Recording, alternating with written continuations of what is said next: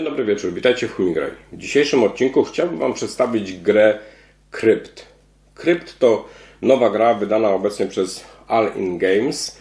E, gra traktuje o tym, e, że jesteśmy potomkami króla i staramy się odzyskać skarby, które król, który właśnie zmarł, ukrył w swojej krypcie. No i teraz wysyłamy tam nasze sługi, e, których zadaniem jest odzyskanie e, konkretnego skarbu. Zobaczmy zatem, na czym polega ta gra. Tak wygląda stół przygotowany do rozgrywki dla trzech graczy. Mamy tutaj 100 kart skarbów. One na swoim rewersie mają informację o tym, jakiego typu to jest karta. Zresztą same grafiki dookoła też o tym świadczą. I jest miejsce na umieszczenie kości sług. Z kolei na drugiej stronie mamy już konkretny rysunek skarbu i informację o tym, ile on jest wart w momencie, e, kiedy będziemy kończyć naszą rundę i będziemy podliczać wszystkie punkty zwycięstwa. Każdy z graczy dobiera sobie jedną kartę e, bohatera, którym będzie grał i do tej karty w zależności od koloru jej tła dobieramy trzy kości K6. Dodatkowo rozkładamy tutaj u góry karty kolekcjonerów. Te karty będą dawały nam bonus bądź to na koniec gry, lub też jeżeli e, użyjemy, czyli odkryjemy wartość jakiejś karty. I tutaj mamy taki symbol mówiący o tym, ta strzałeczka mówi o tym, że e, żeby uzyskać bonus, czyli przerzucić, mieć możliwość przerzucenia jeszcze raz kości, musimy skarb z symbolem posągu e, obrócić na stronę, która ukaże jego wartość. Do tego jeszcze wrócimy. Teraz zobaczmy, jak będzie wyglądała runda. Podczas rundy najpierw ustalamy pierwszego i ostatniego gracza. Otrzymują oni takie oto karty.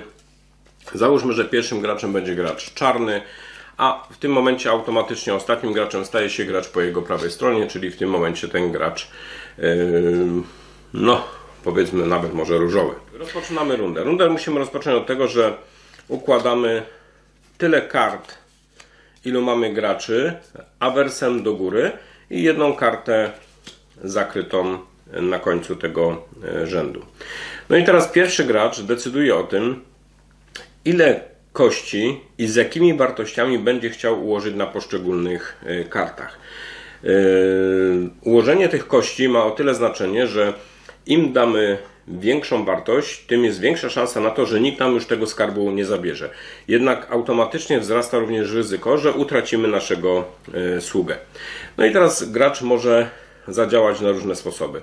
Po pierwsze, może spróbować sobie zarezerwować od razu e, ten e, przedmiot, ten skarb, ze świadomością, że ma nikłą szansę na to, że ten sługa przeżyje. Może również wybrać inny, oczywiście inną wartość, ale może wybrać wariant, w którym na przykład e, położy tutaj dwie kości z wartością 3.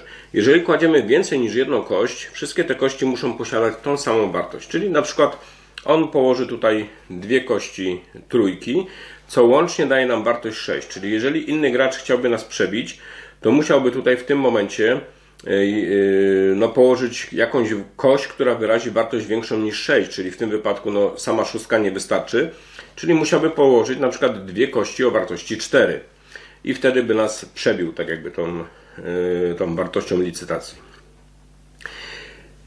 Gracz może zdecydować o tym, że umieszcza następną kość na innej karcie, ale równie dobrze może stwierdzić, że jednak nie będzie chciał tej kości wykorzystywać. Moim zdaniem lepiej tą kość zawsze wykorzystać, bo w razie czego przynajmniej zmusimy innych graczy do podbijania, e, do podbijania stawki.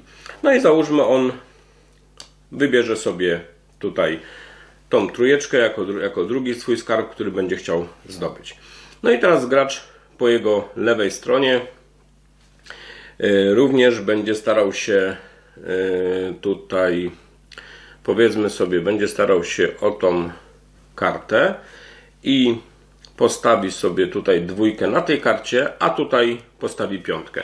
Co spowoduje, że y, podał wynik wyższy niż gracz czarny, w związku z czym gracz czarny dostaje tą kość z powrotem, ona po prostu wróciła, przegrał tą licytację. No i teraz gracz ostatni, y, jego karta, którą posiada, ta karta w mroku, ona ma taką informację, że ten gracz może położyć swoje kości tylko i wyłącznie na jednej karcie. W związku z czym e, no, w tej sytuacji będzie on starał się e, uzyskać tutaj jakąś możliwość pozyskania karty i prawdopodobnie zrobimy w ten sposób, czyli umieścimy tutaj dwie trójki, czym zrzucamy tą piątkę, ponieważ no, łączna wartość naszej kości jest, naszych kości jest 6. No i E, tej jednej kości już nie możemy w tym momencie wykorzystać. No i to, ta, ten etap licytacji zakończył się i przystępujemy teraz do realizacji e, tych, e, tych naszych wypraw. No i mamy tutaj gracz czarny ma dwie trójki, w związku z czym musimy rzucić tymi kośćmi. Na dwóch kościach musimy uzyskać wynik wyższy niż 3. Tutaj się udało. Te dwie kości wracają do jego zasobów i karta którą uzyskał, wraca i tą kartę obraca e, rewersem e, do góry. No tu nie będzie trochę widać, ale ustawia ją rewersem e, do góry, tak żeby nikt nie wiedział jaka tam jest wartość. Na początku będziecie pamiętać, ale później jak tych kart przybędzie, to w pewnym momencie te wartości będą się zacierały. Czerwony gracz ma tutaj dwie karty, które obstawił. Zacznijmy od dwójki.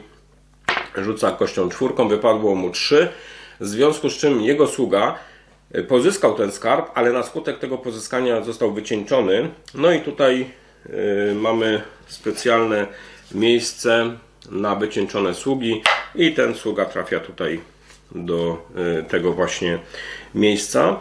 Y, drugi, drugi sługa próbujemy piąteczka miał mieć miał dwa, czyli udało się uzyskać tą kartę. Ta karta w tym momencie daje nam wartość 3, czyli opłacało się w nią inwestować.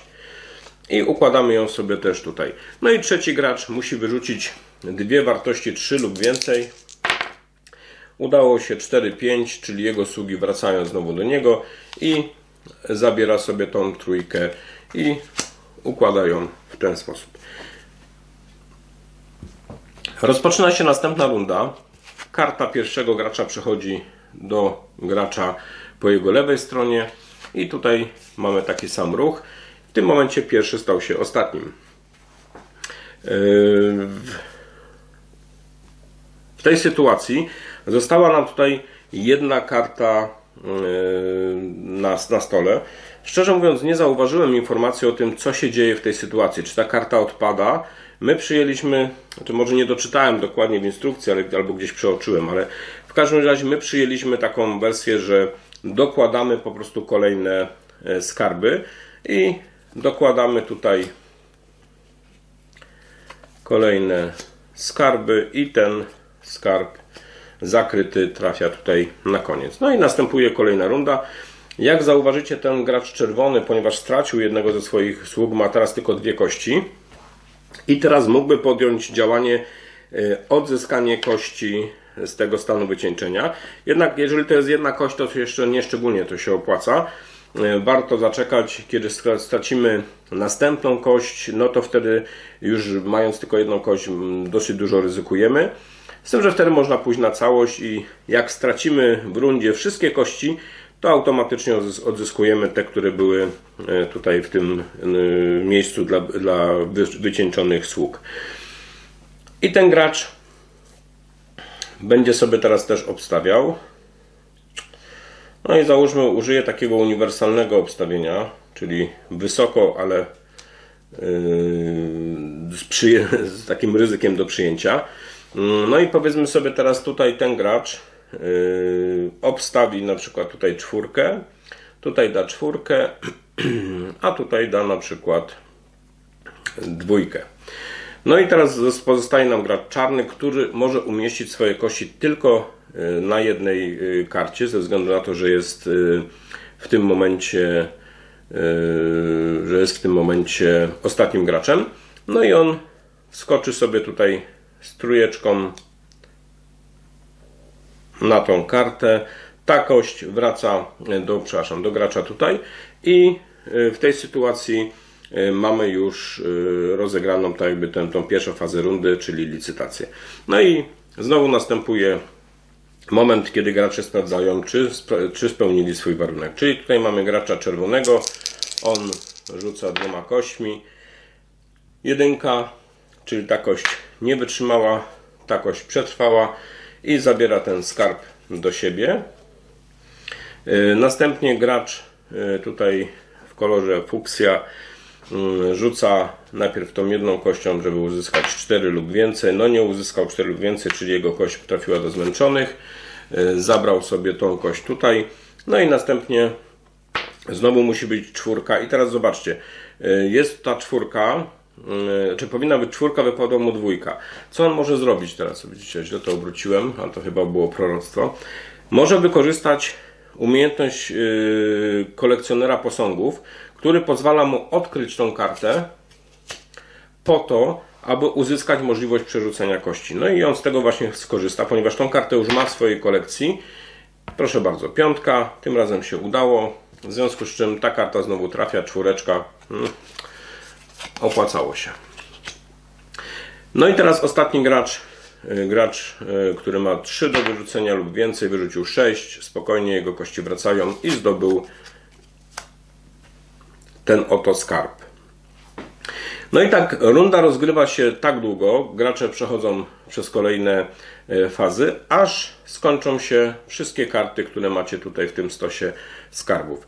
No i na koniec gry następuje podliczenie punktacji. Te punkty, jak mówiłem, one znajdują się tutaj w informacji na karcie mamy tu informację, ile tych y, monet złotych dostaniemy za dany skarb, a kolekcjonerzy dzięki spełnieniu pewnych warunków mogą y, nam tą dodać tak jakby dodatkową premię. No i na przykład możemy tutaj że każdy, na przykład u kolekcjonerki manuskryptów możemy uzyskać taki bonus, że jeżeli posiadamy przynajmniej dwa manuskrypty, to każdy manuskrypt ma teraz wartość 4, czyli tą najwyższą. E, jeżeli e, będziemy korzystać z usług e, kolekcjonera gobelinów, to wystarczy, że posiadamy jeden gobelin i dzięki temu możemy uzyskać plus 5, jeżeli nasza kolekcja gobelinów jest najdroższą kolekcją, czyli te nasze gobeliny posiadają najwięcej punktów, najwięcej monet. I teraz znowu tutaj mamy u Y, kolekcjonerki biżuterii, że najdroższy, y, najdroższa kolekcja y, tych skarbów z symbolem biżuterii, czyli, czyli takim symbolem tutaj, one automatycznie liczone są podwójnie, czyli ten, kto będzie miał największą taką kolekcję, a ma przynajmniej dwa, dwa takie, dwie takie karty w swojej kolekcji, ten uzyska ich podwójną wartość. No i tutaj mamy kolekcjonera ceramiki za dwie bazy jest nam w stanie e, dać bonus, czyli każde dwie wazy to jest plus 2, każde trzy wazy, jeżeli byśmy posiadali, to już jest plus 4, a za cztery wazy otrzymamy plus 8. Karty kolekcjonerów mają również drugą stronę, gdzie mamy coś w rodzaju zaawansowanego, e, zaawansowanej umiejętności i możemy e, te karty obracać dowolnie. Czyli założenie jest takie, że zaczynamy zazwyczaj od, tego, od, tego, od tej strony A, czyli wszystkie karty będziemy mieli ułożone na stronie A, tutaj z literką na dole. Nie wiem, czy to będzie, o, tutaj będzie widać. Mm, a możemy sobie tworzyć dowolne kompilacje tych, y, tych y, kolekcjonerów i dzięki temu uzyskiwać za każdym razem inne warunki zwycięstwa, które, bo tak naprawdę to, to przede wszystkim są główne warunki zwycięstwa, bo jeżeli chodzi o karty, jeżeli gramy w miarę rozsądnie, jesteśmy w stanie zbliżyć się do mniej więcej wyrównanych wyników i dopiero te kombinacje, które udało nam się stworzyć, będą, się, będą nam generować dodatkowe punkty tutaj na końcu tej rozgrywki. Jak widzicie, same zasady są dość proste. Tu nie ma co tłumaczyć. E, tak naprawdę mamy ten efekt E, dwie fazy, tak jakby rundy, czyli pierwsza faza to jest ta faza licytacji, gdzie staramy się przelicytować innego gracza e, w, w tym, żebyśmy to my pozyskali konkretny skarb, a druga faza to jest ta faza, w której mamy to ryzyko, że dzięki temu, że wysoko wylicytowaliśmy dany skarb, możemy utracić sługę, którego wysłaliśmy po jego zdobycie. Także tutaj trzeba bardzo rozsądnie równoważyć E, tą licytację i tą utratę sług. znaczy podejmowanie ryzyka, czy, czy na przykład ta karta jest warta tego, żebyśmy utracili sługę, który w następnej rundzie już będzie powodował to, że będziemy mieli troszeczkę mniejszą pulę kości i tym samym mniejszą możliwość licytowania. Z kolei oczywiście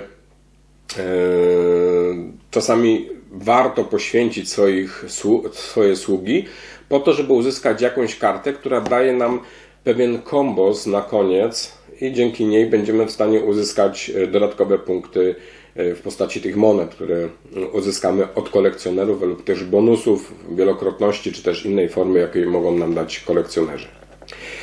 Jest to gra, która e, jest takim bardzo fajnym filerem pomiędzy różnymi rozgrywkami. Różnie grając w tą grę, e, w różną ilość osób, na przykład od czterech, tam w sumie od, od dwóch do czterech, bo jest też wersja jednoosobowa. E, szczerze mówiąc, nie zagrałem w nią ani raz, ponieważ nie lubię grać samodzielnie. Lubię interakcje z ludźmi, także nie wykorzystałem tego. Może kiedyś mm, przyjdzie mi zagrać samodzielnie w tą grę, ale e, no, czytając same zasady jest, są one odrobinkę zmienione, ale też wyglądają bardzo przyjemnie. E, wracając do rozgrywki, oczywiście im więcej osób, tym lepiej, ze względu na to, że mamy tutaj element rywalizacji. Jeżeli mamy dwie, trzy osoby, no to już jest e, powiedzmy od 3 do 4 właściwie. To już jest bardzo dobrze. Jeżeli gramy tylko w dwie osoby, to tak naprawdę jest to taki pojedynek. I tutaj no wolę, wolę jednak tą wersję 3 lub przynajmniej, znaczy przynajmniej 3 lub 4 osoby, to moim zdaniem ta gra znowu nabiera w tym momencie skrzydło. Tak jak chyba większość gier, które mają w sobie element jakiejkolwiek rywalizacji, bo e, jeżeli walczymy tylko w pojedynku, no to, to czasami przewidywalność przeciwnika jest duża, a w momencie, kiedy mamy jeszcze kolejne czynniki w postaci trzeciego i czwartego gracza, no to ta kompilacja może być zaskakująca. Krypt e, poleciłbym tym, którzy lubią właśnie szybkie rozgrywki, czyli jeżeli macie tam powiedzmy sobie te 20 minut, tutaj określane jest to jakie 25 minut, ale przy trzech graczach, ogarniętych graczach, takich, którzy już znają tą, tą grę, chociaż tutaj tak no nie ma co poznawać, jeżeli chodzi o mechanikę, ale graczach, którzy wiedzą, co chcą zrobić, no to, to 20 minut przy trzech graczach to jest w zupełności wystarczające i spokojnie można taką partię rozegrać. E, no, oczywiście e, większa ilość graczy, czyli ten czwarty gracz, zawsze będzie w jakimś stopniu wydłużał tą rozgrywkę, czyli wtedy myślę, że to trzeba przyjąć jeszcze dodatkowo jakieś 6-7 minut na kolejnego gracza. Ta gra mi się bardzo podoba, ale jest tu jeden element, który mi się w tej grze nie podoba. Tym elementem jest fabuła. Rozum, znaczy, zdaję sobie sprawę, że tak małe gry nie wymagają jakiejś super fabuły, ale E, ta, ten, ta tematyka gry w sensie takim, że no, jesteśmy dzieckiem króla, król zmarł, zabrał skarb ze sobą i my teraz biedni musimy wynajmować e, sługi nasze po to, żeby ten skarb odzyskać dla siebie. Okej, okay, ale to nie do końca do mnie przemawia.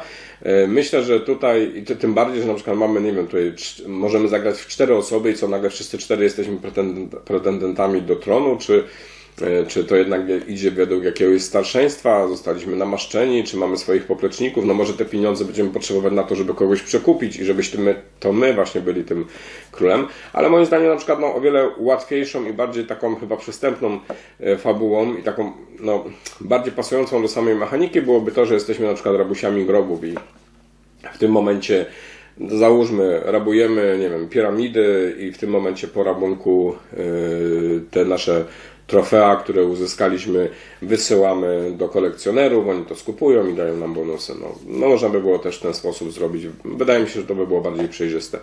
No ale to już pomijając. Yy, gra jest bardzo fajnie wydana. Bardzo mi się podobają te elementy takie tłoczone, powiedzmy, mamy tutaj tak jakby prawie płaskorzeźbę yy, tego króla, który leży na tym sarkofagu i E, gra bardzo ładnie się prezentuje. E, grafiki to jest kwestia gustu. Moim zdaniem są bardzo ładne.